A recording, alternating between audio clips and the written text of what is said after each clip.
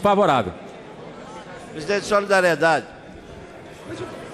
Presidente, solidariedade encaminha favorável essa matéria. É uma matéria importante, inclusive, que já existia.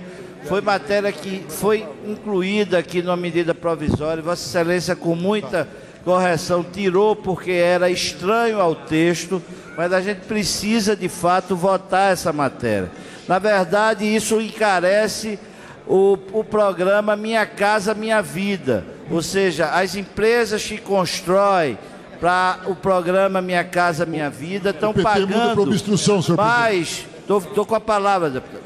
Ah, estão pagando mais impostos do que, por exemplo, empresas que, que constroem condomínios.